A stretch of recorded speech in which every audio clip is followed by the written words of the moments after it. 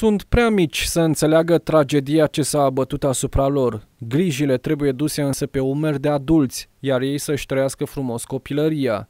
Copiii care au rămas fără puținele jucării și fără hăinuțe trăiesc acum într-o cămăruță mică împreună cu părinții lor.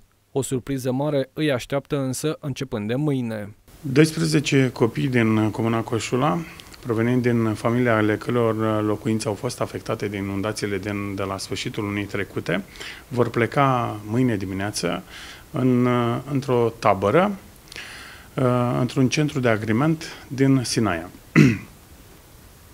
Transportul va fi asigurat printr-un uh, Uh, microbuz școlar. Sejurul este asigurat de guvern prin, uh, printr-un proiect elaborat de Ministerul uh, Tineretului și Sportului.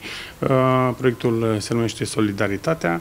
Instituția prefectului a făcut o centralizare a pagubelor, iar un raport a fost înaintat către guvern pentru a fi alocate despăgubiri. Până acum s-au alocat 5,7 milioane de lei pentru refacerea infrastructurii distruse de inundații. În perioada următoare ar urma să ajungă fonduri și pentru construcția a șase locuințe ce au fost complet ruinate de ape. Casele erau construite din chirpici, paie și lut și nu au avut nicio șansă în calea viiturilor.